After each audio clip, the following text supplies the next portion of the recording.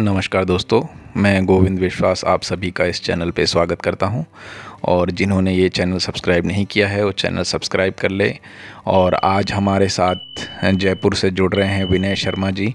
तो विनय जी, आपका बहुत बहुत स्वागत है। आइए विनय जी से हम ढेर सारी बातें करते हैं उनके कला जीवन के विषय के बारे में। नमस्कार बहुत बहुत धन्यवाद आपने ये चैनल शुरू किया। और मुझे लगता है कि ये बहुत ही लोगों के लिए ज्ञानवर्धक रहेगा कला की जानकारियाँ भी मिलेगी। बिल्कुल। विनय जी आपकी प्रारंभिक शिक्षा दीक्षा कहाँ हुई और किस प्रकार आप इस फ़ील्ड की ओर आपका रुझान बढ़ा? देखिए बचपन तो मेरा गाँव में बीता स्कूल जाने से पूर्व पंडित जी के यहाँ जा, जाना होता था। मतलब प्रारंभिक शिक्षा आपको पंडित जी के यहाँ लेनी होती थी। Okay. और शिक्षा लेने का तरीका भी एक अजीब तरीके का होता था तख्ती लकड़ी की तख्ती तैयार करनी होती थी और उसको काजल से तैयार किया जाता था काजल लगा के उसको रब करते थे और साइन करते थे okay. और खड़िया और कलम से उसके ऊपर लिखते थे अरे तो मुझे लगता है कला की जो पहली शुरुआत है जब मैं कैक है और बारखड़ी सीखने लगा हम्म। तो मुझे लगता है वहीं से एक शिक्षा करु बनाने की रेखा खींचने की मुझे मिलने लगी पर बचपन था बालपन था कला की कोई समझ नहीं थी केवल रेखाएँ बनाना और सुलेख लिखना अच्छे तरीके से अक्सर कैसे लिखा जाता है वो सीखने की जो ललक थी वो उस समय पड़ गई थी और वहीं से मेरी रेखाएँ बनना शुरू हो गई थी okay. फिर दूसरा क्या था मेरा ननिहाल में बचपन बालपन ज़्यादा बीता और नाना जी ज्योतिषी थे और वो जन्म पत्रियाँ मनाया करते थे और जन्म पत्रियों में वो जो रंग भरते थे ना वो हम्म। बड़े आकर्षक लगते थे okay. एक लकड़ी की तुलिका उसके ऊपर रुई लगाकर और हम्म। उससे वो प्राकृतिक रंग जो होते थे ना फूलों से बनाते थे हाँ। और कई ऐसे माध्यम होते थे पत्थर से रंग बनाते थे और उन रंगों को उस पे उनमें भरते थे जन्म पत्रियों में वो मुझे बड़ा आकर्षित करती थी तो मुझे लगता है कला की जो समझ है हम्म। वो अन्य मतलब एक बालपन में जिस तरह से भरती गई ना हाँ। तो वहीं से मेरी शुरुआत हो गई और फिर जिस स्कूल में मैंने प्रारंभिक शिक्षा ली हाँ। उस स्कूल के गोखे हुआ करते थे गोखे एक बैठने की जगह होती थी जहाँ से हम स्कूल में प्रवेश लेते थे और उसके ऊपर बड़े खूबसूरत चित्र बने हुए थे म्यूरल बने हुए थे पेंटिंग्स थी तो okay. मैं सुबह जब प्रार्थना से पहले उनको बड़ा गौर से देखा करता था ये मुझे अच्छी तरह याद है बचपन okay. में तो मुझे लगता है कि कहीं कहीं कला का जो एक देखने की दृष्टि है वो मेरी बालपन से ही भरने लगी तो इस तरह बचपन मेरा गाँव में बीता उसके बाद फिर मैं जयपुर में आया अब उस समय का दौर एक अजीब सा दौर था हम्म। मतलब हर परिवार में हर जो कोई चाहते थे कि उनका बच्चा या तो डॉक्टर बने या इंजीनियर बने। बिल्कुल। कला का कला जो शिक्षा थी ना उसको दोयम दर्जे की समझी जाती थी।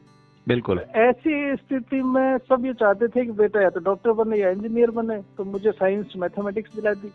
okay. अब साइंस मैथमेटिक्स मेरी रुचि कला में। थोड़ी सी ये ज़ाहिर तो किया था कि देखो मैं साइंस में नहीं चल पाऊँगा पर उस समय था ना कि हाँ ठीक है अभी तो बच्चा है वो करेगा तो अपने आप फिर आगे कर लेगा कुछ। और टेंथ में मैंने कह दिया कि भाई मैं तो आर्ट में जाऊँगा। ओके तो सहमत भी हो गए परिजन सारे सहमत हो गए और उन्होंने स्कूल ऑफ़ आर्ट्स में मेरा दाखिला करा दिया। चलिए ये तो, तो बहुत मेरी एजुकेशन का एक बड़ा रोचक तरीके से एक वो रहा कला में आना। विनय जी आपके बहुत सारे काम श्वेत श्याम में हैं। इसके पीछे क्या कारण है? क्या वजह है जिस वजह से आपने श्वेत श्याम चुना? जो शाश्वत सत्य है ना जीवन का हम्म। वो श्वेत श्याम रंगों में ही है। बिल्कुल। मतलब मेरा दर्शन जो है ना मुझे मैं कई बार जब देखता हूँ कई जगह तो हम्म। जो अंतिम अवशेष आपके बसते हैं वो श्वेत श्याम ही होते हैं। रंगों से शुरू होते हैं रंगों से शुरू होते हैं और जो आखिरी आपकी अनुभूति होती है वो श्वेत श्याम पर जाकर सिमट जाती है। बिल्कुल। तो मैंने प्रकृति को भी उसी दृष्टि से देखना शुरू किया जी। कि आप रंगों को श्वेत श्याम उसी में देखो। एक झील है वो आपको श्वेत श्याम में नज़र आ रही है। पहाड़ है वो आपको श्वेत श्याम में नज़र आ रहे हैं। तो किस तरह की एक आभा बनती है किस तरह की आभा बनती है? तो वो मैंने रंगों में खूब काम किया। पर धीरे धीरे उन रंगों को मैंने श्याम रंगों में ही समेट लिया। मेरे सारे रंग अब श्याम रंगों में आने लगे। ओके तो, तो, इस तरह से ये श्याम रंग की कहानी रही मेरी। जी बिल्कुल। इसी के साथ एक सवाल और उभर के बाहर आता है कि हमारे काम के पीछे कॉन्सेप्ट का होना कितना ज़रूरी है? बिल्कुल मैं सही कहा। असलियत में क्या है देखो कला पूर्ण रूप से विचार होती है। जी। अपने विचारों को हम समेटते हैं और किसी भी सरफेस पर रखते हैं और वो जो आकृति बनती है वही आकृति विचार बेस हो जाती है। मतलब अपने पूर्ण रूप से अपने विचारों को समेट कर कोई कृति बनती है तो वो आपके विचार होते हैं बेसिकली वो चाहे किसी भी चाहे मूर्त हो चाहे अमूर्त हो। चाहे आपको उसमें दृश्य दिखते हो या दृश्य नहीं दिखते हो पर वो आपके विचारों को ही उस पर प्रेषित करती है उस पर रखती है। तो मेरा ये मानना है कि आप अच्छे विचारों से कोई कृति का निर्माण करते हो अच्छे विचारों से किसी चीज़ को आप बनाते हो तो वो आपकी सुकृति होती है। बिल्कुल। और जब विचारों में विकार आ जाता है जब आपके विचार दूषित हो जाते हैं तो जो कृति बनती है ना वो फिर विकृति बनती है। बिल्कुल। उस कृति में आपको आनंद नहीं आता। और कला का उद्देश्य तो आनंद देने के लिए ही है। चाहे वो समाज को हो चाहे हमारे दैनिक जीवन में लोगों को हो तो आनंद के लिए कला होती है बेसिकली जी आपके काम में एक नए तरह का प्रयोग भी दिखता है।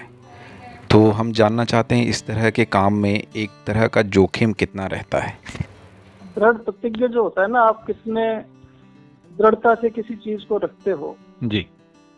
और आप कितने वैचारिक दृष्टि से संभ्रांत मतलब आप परिपक्व हो। जी।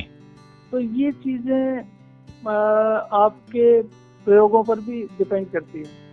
बिल्कुल। और इतनी हिम्मत तो होनी चाहिए इतनी हिम्मत तो होनी चाहिए कि आप अगर किसी अच्छे मन से अच्छे विचारों से अगर कोई प्रयोग करते हैं और उस प्रयोग का लाभ समाज को मिलता है वो बहुत ज़रूरी होता है। आप आपके अपने विचार यदि समाज के लिए उपयोगी नहीं। जी। तो मैं ये मानता हूँ कि उस कला में कहीं कहीं अधूरापन होता है उन प्रयोगों में भी अधूरापन होता है। तो मैं जो भी प्रयोग करता हूँ उस प्रयोग के पीछे कहीं न कहीं कोई न कोई ऐसी चीज़ रहती है जो समाज के लिए लाभप्रद हो। जी विनय जी। अच्छा आपकी दिनचर्या क्या होती है और लॉकडाउन में आपके दिनचर्या का इस्तेमाल आपने किस प्रकार किया? आ, देखो आ, जब कला आपके साथ होती है ना जी। तो आपको समय खाने को नहीं दौड़ता है। तब आप समय को आनंद के साथ जीते हो। बहुत कष्टकाल था विचारों में भी बहुत उथल पुथल रही। मैं खुद भी कोरोना से ग्रस्त रहा बीच में। ओके। पर कला ने एक हीलर का काम किया।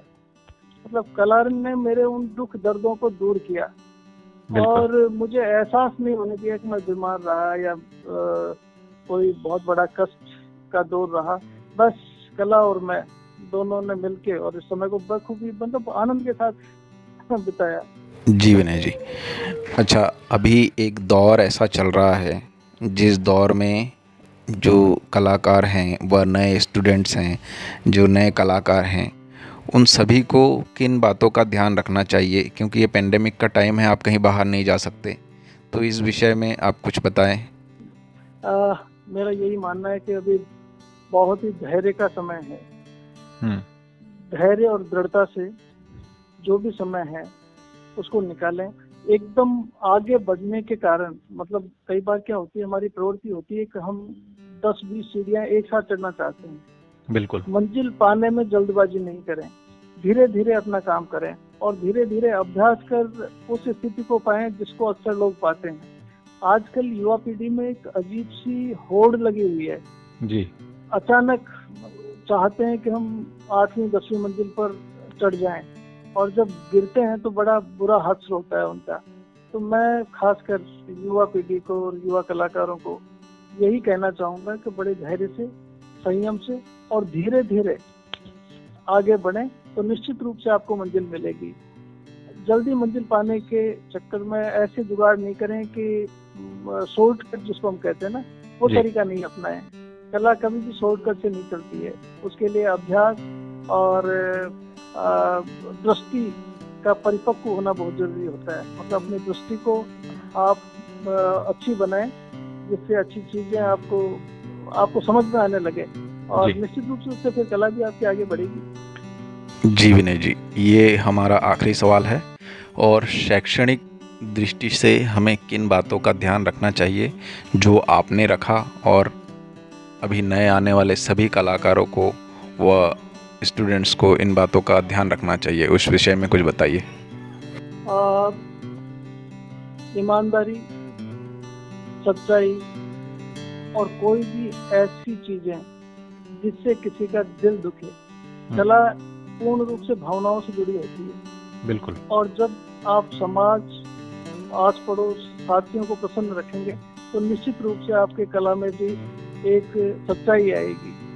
और वो सच्चाई ही आपकी आपको प्रेरित करेगी आगे बढ़ाएगी। तो मेरा यही मानना है।